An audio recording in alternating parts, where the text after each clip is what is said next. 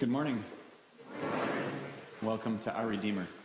Maybe you remember that old question if you were to die tonight and stand before God, what would you say? As we hear Jesus today in our gospel describe the judgment, the only thing that the sheep say is, When, Lord?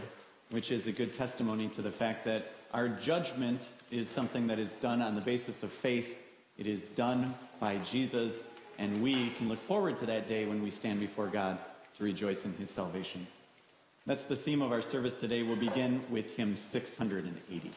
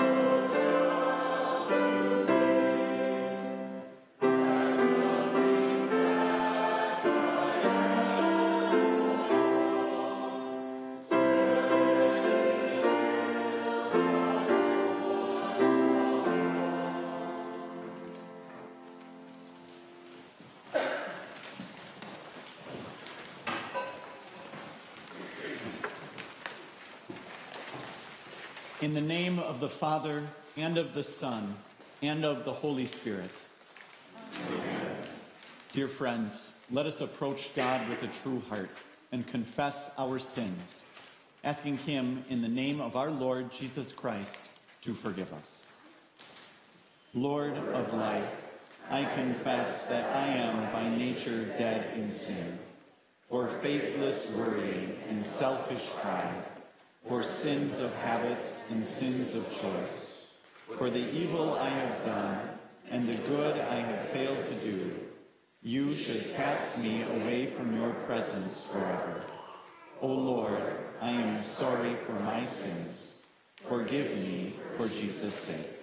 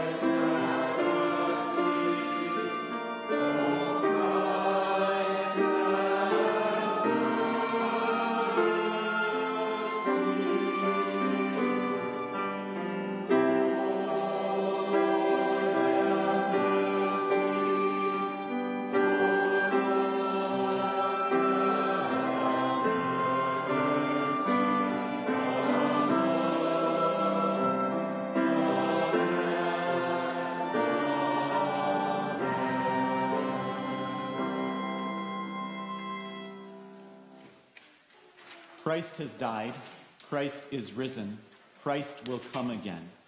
In his great mercy, God made us alive in Christ, even when we were dead in our sins. Hear the word of Christ through his called servant. I forgive you all your sins, in the name of the Father, and of the Son, and of the Holy Spirit. Amen.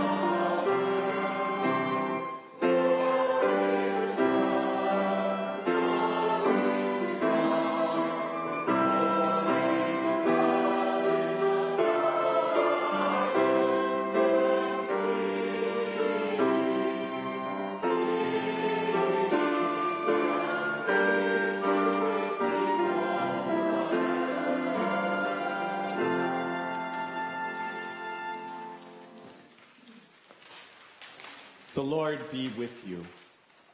And also with you. Let us pray. God, our refuge and strength, have mercy on your church as we come in prayer before you. Answer us not in judgment on our sins, but in peace and forgiveness. Through Jesus Christ, your Son, our Lord, who lives and reigns with you in the Holy Spirit, one God, now and forever.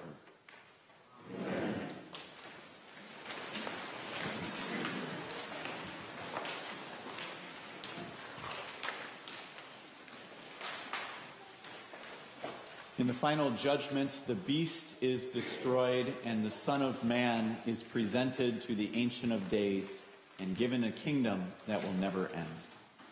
lesson from the prophet Daniel. As I looked, thrones were placed, and the Ancient of Days took his seat.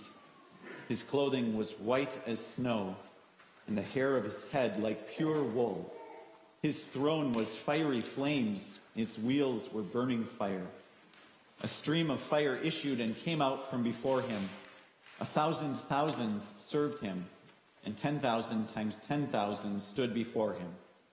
The court sat in judgment, and the books were opened. I looked then because of the sound of the great words that the horn was speaking. And as I looked, the beast was killed, and its body destroyed and given over to be burned with fire. As for the rest of the beasts, their dominion was taken away, but their lives were prolonged for a season and a time. I saw in the night visions, and behold, with the clouds of heaven, there came one like a son of man, and he came to the Ancient of Days and was presented before him. And to him was given dominion and glory and a kingdom, that all peoples, nations, and languages should serve him. His dominion is an everlasting dominion which shall not pass away, and his kingdom one that shall not be destroyed. The word of the Lord.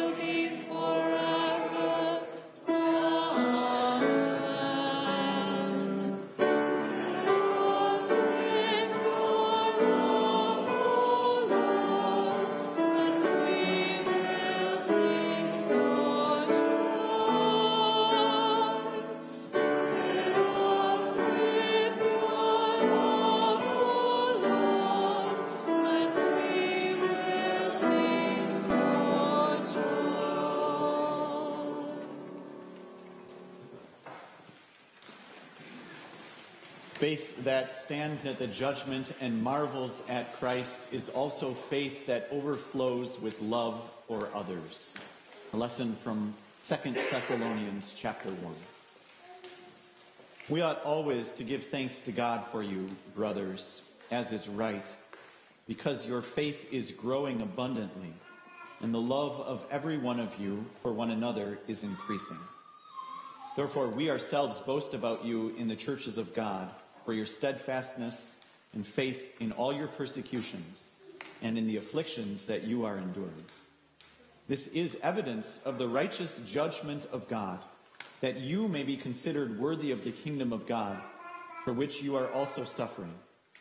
Since indeed God considers it just to repay with affliction those who afflict you, and to grant relief to you who are afflicted, as well as to us, when the Lord Jesus is revealed from heaven with his mighty angels in flaming fire, inflicting vengeance on those who do not know God and on those who do not obey the gospel of our Lord Jesus. They will suffer the punishment of eternal destruction away from the presence of the Lord and from the glory of his might. And he comes on that day to be glorified in his saints and to be marveled at among all who have believed, because our testimony to you was believed. The word of the Lord.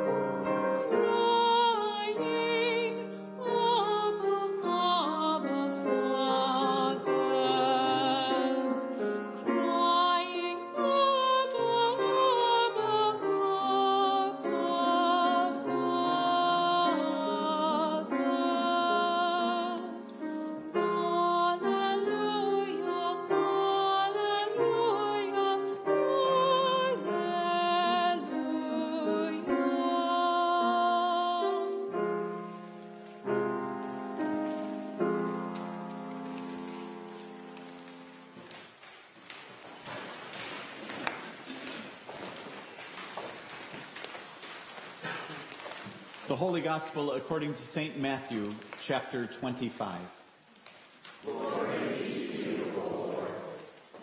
When the Son of Man comes in his glory, and all the angels with him, then he will sit on his glorious throne. Before him will be gathered all the nations, and he will separate people one from another, as a shepherd separates the sheep from the goats. And he will place the sheep on his right, but the goats on the left. Then the king will say to those on his right, Come, you who are blessed by my Father, inherit the kingdom prepared for you from the foundation of the world. For I was hungry, and you gave me food. I was thirsty, and you gave me drink. I was a stranger, and you welcomed me. I was naked, and you clothed me. I was sick, and you visited me. I was in prison, and you came to me. Then the righteous will answer him, saying, Lord, when did we see you hungry and feed you, or thirsty and give you drink?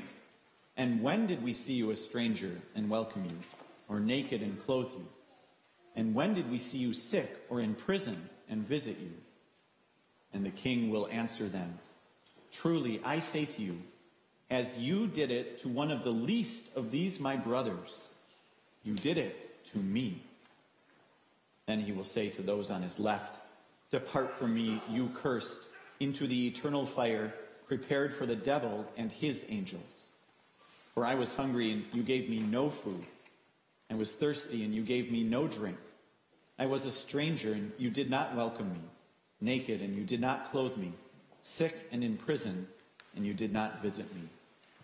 Then they also will answer, saying, Lord, when did we see you hungry, or thirsty, or a stranger, or naked, or sick, or in prison, and did not minister to you? And he will answer them, saying, Truly I say to you, As you did not do it to one of the least of these, you did not do it to me. And these will go away into eternal punishment, but the righteous into eternal life. This is the gospel of the Lord. Praise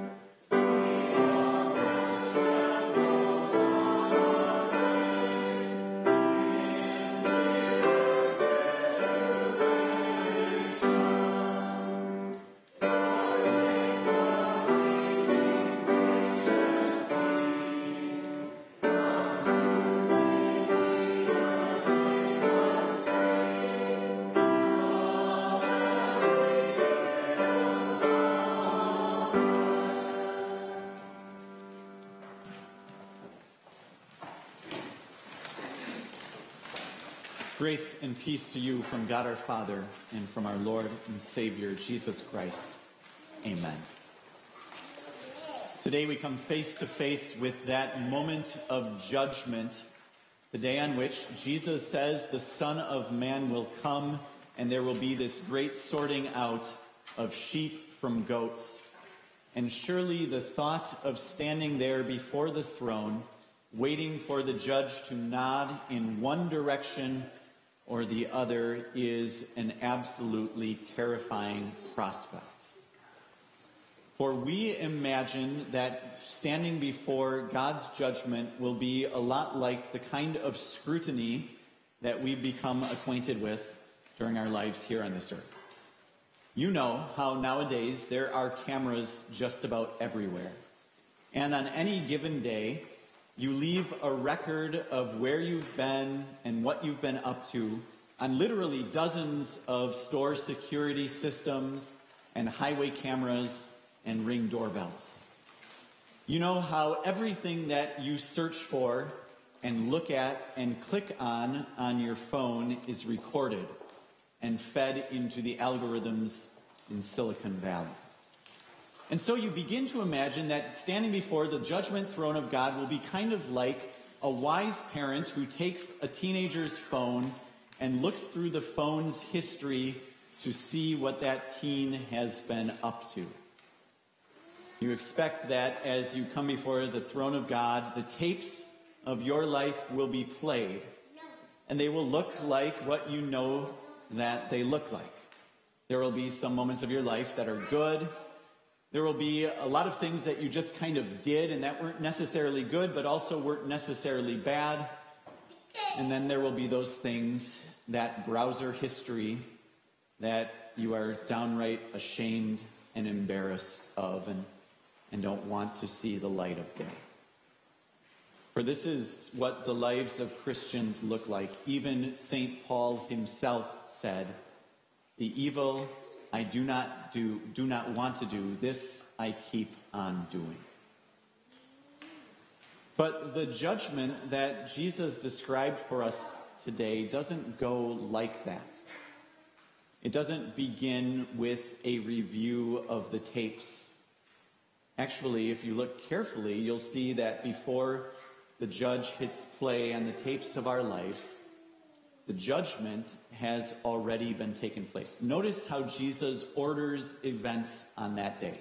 First of all, the Son of Man comes in his glory, and all the nations are gathered before him. On that day, Jesus will have literally drawn all men to himself. Everyone who has ever lived will be drawn to Jesus. Jesus will be revealed as he really is, the black hole at the center of this universe the irresistible gravitational force that pulls all to stand before him. He gathers them all there, and then wordlessly, he begins to separate the sheep from the goats. He places some on his right and some on his left, but notice this that all of that is done before a single word has been spoken. And then when he does begin to speak, he turns to the sheep and he explains to them the basis on which he made this judgment. And again, the first thing that he does is not to hit play on the tapes of their lives. No, he says something quite surprising. He says, Come, you who are blessed by my Father, inherit the kingdom prepared for you from the foundation of the world. This is on the basis on which he has taken the sheep and put them on his right. They are blessed by the Father, and that word blessed is a word that always has behind it the gracious giving nature of our God, a merciful Father in heaven who gives what is not deserved. He has given to these, his, his sheep, what but a kingdom that was prepared from the foundation of the world. And those words from the foundation of the world call to mind the way that St. John describes Jesus as the lamb who was slain from the foundation of the world. In other words, the one great deed that counts in God's judgment is the death and resurrection of Jesus. and his blood, which was shed to cover over the sins of this entire world. And again, if you think about the order of events, you realize that he is telling those on his right that they are saved from the foundation of the world before they had even existed, before they had taken a single breath, before they had been born, before they had lived, before they had yelled at their parents, before they had rebelled, before they had grown up and become parents themselves and yelled at their children, before any of the good or any of the bad that make up our lives has taken place. God, in His divine grace, had prepared this kingdom for them. And so they stand with Him, having received a kingdom simply by faith, by trusting in the one who was sitting on the throne and His free gift of salvation that was given to them. In fact, if you look extra carefully, you'll notice that the traces of divine grace are still there, even in what the judge says to those whom he sends away to the eternal fire.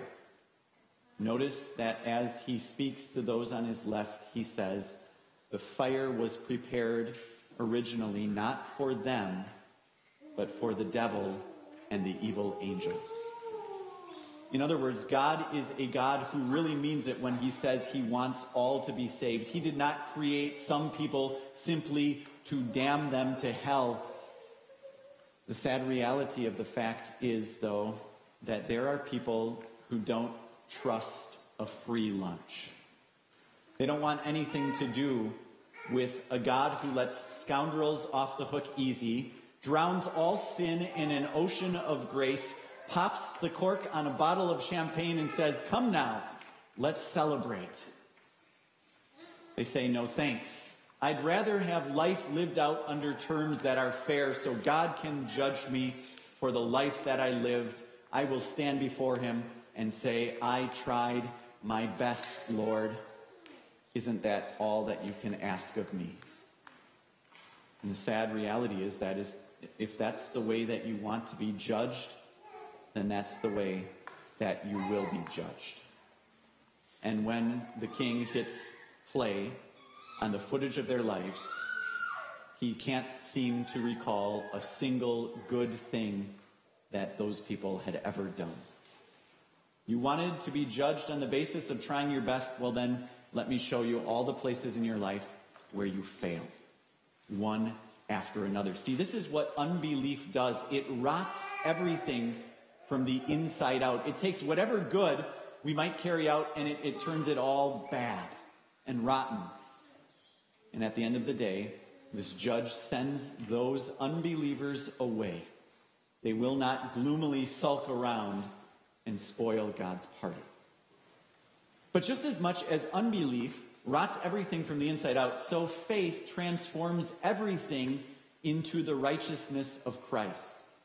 Faith knows nothing but Jesus, and, and Jesus in his grace is enough to transform everything about us.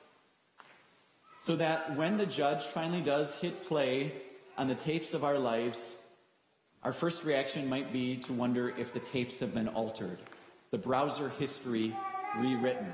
For the description that he gives of our lives doesn't sound a lot like what I know. When I think about what my life is like, I see the mix of good and bad, and human nature being what it is, I'm far more apt to focus on the bad and dwell on that. But this judge, when he hits play, he sees you in a way that you do not see yourself.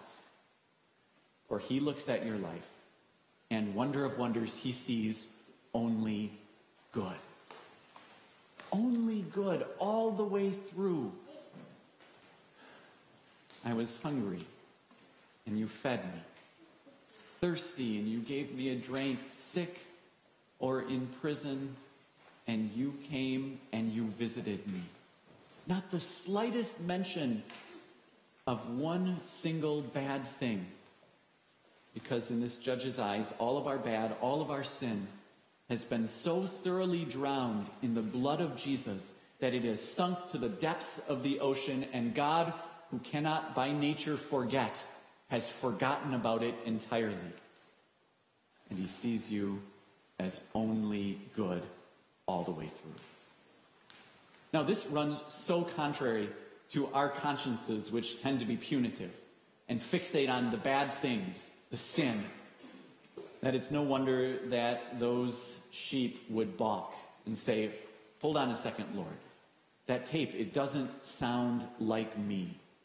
When did this happen? How could it be? I don't think you have the right person. And he says, No, no, no. It is you. It's you, the new you, the new you who has been transformed by faith in Christ. You know what the scriptures say. The scriptures say that Christ comes and dwells in our hearts through faith. And, and this is what God sees when he looks at you. He sees how he, by his grace, through word and sacrament and the working of his spirit, has planted Christ in your heart so that you are perfect and righteous in his eyes. And this transforms everything so that even the smallest little acts are coming out of faith. And in wonder of wonders, are loved and praised and remembered by Him. You know, everything that he recites is just the most mundane, ordinary things that we might do on any given day. There are no grand works of piety or marvelous acts of huge gifts of charity here is just the small little things in everyday life that are so normal that, generally speaking, our minds wouldn't even think to store them in long term memory. Does a mother remember how many lunches she's packed for her child or how many water bottles she's filled? Does a friend think twice about spending Friday night with that person who's been going through a rough time. There is nothing at all unusual about such things, save for this that Christ Himself mysteriously is present in those people to receive those acts Himself. This is truly mysterious and wonderful. The world in which we live is more glorious and enchanted than we sometimes think it is. And our God does not merely approve of loving acts of kindness that we do to the people in our lives. He is somehow so in love with them that he himself cannot help but be there to receive them from us. I tell you, whatever you did to the least of these, my brothers, you did it to me. Faith which knows nothing but Christ now is truly floored. To have eyes that should consider that my Lord and the judge who will sit on that throne is never far away. He is hiding in plain sight. He's hiding in plain sight in the people who fill your ordinary life.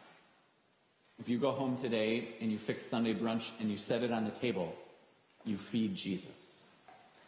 If hearing Jesus' words today reminds you of that person you know who's in prison and you decide to spend your Sunday afternoon writing him a letter, you are writing a letter to Jesus.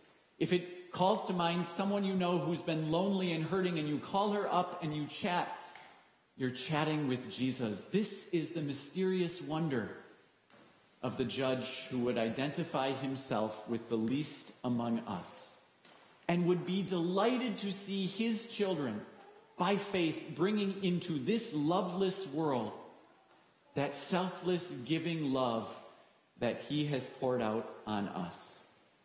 He loves nothing more than to see it spilling out from us in lives of generosity to others. And if you do that, you don't go home then and ruin the whole thing by patting yourself on the back and thinking about what a wonderful person you've been. You know on what basis God's judgment is rendered on the basis of Jesus' blood and righteousness, not your own. But I'd also like for you to think about this. You don't have to go and ruin those simple acts of love by endlessly questioning your motivation for doing them. A God who can be so forgetful of our sins is certainly not one who is about to be a stickler for us having the perfect motivation. See, all of our impure motives and wrong desires, just like all of our sins, have been drowned by the blood of Jesus. When your God sees you, he sees only good all the way through. So at the end of the day, it turns out that the judgment doesn't go anything like we would have thought that it would go. Our God does not look at us the way that we look at ourselves. His grace operates differently, and we are blessed for it. And neither do we now look at our God in the same way. For we realize that He's not far away in heaven, but hiding close at hand and waiting to delight in and remember the acts of love that we, His children, carry out in His name. Amen. Please stand.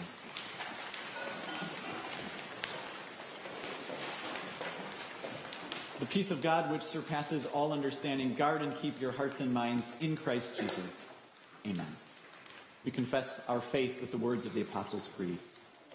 I believe in God the Father Almighty, maker of heaven and earth. I believe in Jesus Christ, his only Son, our Lord, who was conceived by the Holy Spirit, born of the Virgin Mary, suffered under Pontius Pilate was crucified, died, and was buried. He descended into hell. The third day he rose again from the dead. He ascended into heaven and is seated at the right hand of God the Father Almighty. From there he will come to judge the living and the dead. I believe in the Holy Spirit, the holy Christian church, the communion of saints, the forgiveness of sins, the resurrection of the body, and the life everlasting. Amen.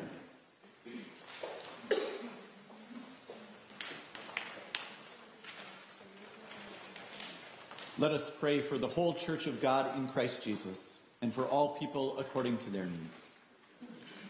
For an increase of mercy among all the baptized, that they would bless and not curse, forgive as they have been forgiven, give as they have been given to, and speak the truth in love not with anger and pride. Let us pray to the Lord. Lord, have mercy. For industries and the service sectors of this land, that their labors may be just and the work they do may be profitable for all people, let us pray to the Lord. Lord, have mercy. For a culture of life in our land and throughout the world, that all life from the womb to the grave would be cherished, and that all who view life as expendable would have their hearts and minds changed let us pray to the Lord. For those who have been placed in authority over us, that they would govern with a mind focused on peace and the general welfare of all, let us pray to the Lord. For the freedoms we enjoy in our country, let us give thanks to the Lord, that we would never take these freedoms for granted and always strive to defend and protect them. Let us pray to the. Lord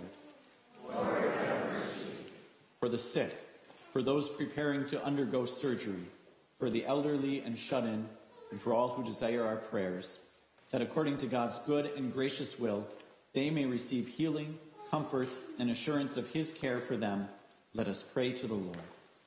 Lord, have mercy.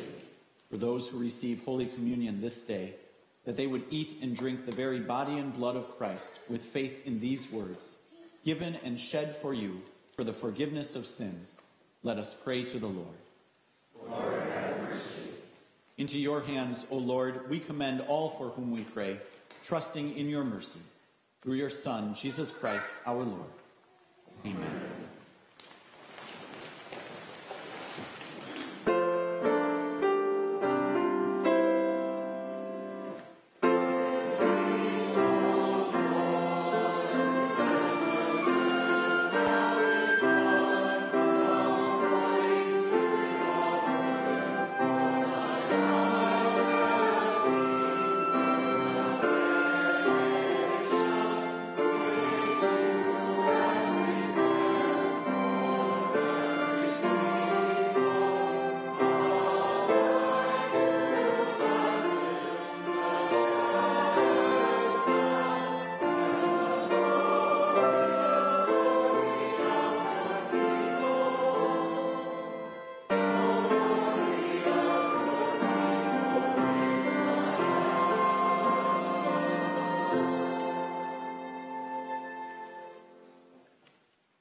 We give you thanks, O Lord, for the foretaste of the heavenly banquet that you have given us to eat and to drink in this sacrament. Through this gift, you have fed our faith, nourished our hope, and strengthened our love. By your Spirit, help us to live as your holy people until that day when you will receive us as your guests at the wedding supper of the Lamb, who lives and reigns with you in the Holy Spirit, one God, now and forever. Amen. The Lord bless you and keep you. The Lord make his face shine on you and be gracious to you. The Lord look on you with favor and give you peace.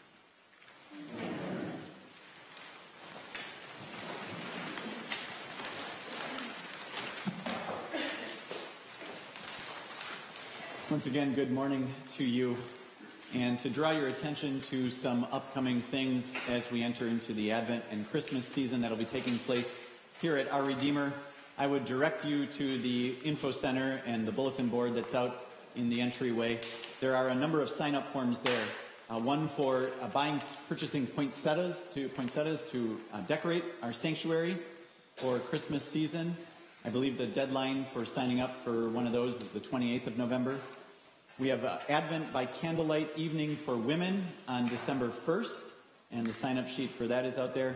We're also taking a fellowship, a fun trip down to the German Christmas market in Chicago on Saturday, December 10th. There will be a bus going uh, from our Redeemer down to Chicago and back. We hope that you can join us for that. There's a sign up sheet as well out on the info center. Today, we also have some things going on today to highlight. Uh, most importantly, after the 1030 service, we'll be holding a call meeting and extending a call for an associate pastor here at our Redeemer. So if you're able to come back for that meeting, that would be great. Um, but uh, even if not, please keep our congregation in your prayers and, and, the man we call as well. And you're invited to stick around for our Sunday school and Bible study hour that begins at 9.15. As you head out today, uh, take a moment, say hi to those who are worshiping with you, your brothers and sisters here at our Redeemer. God bless you.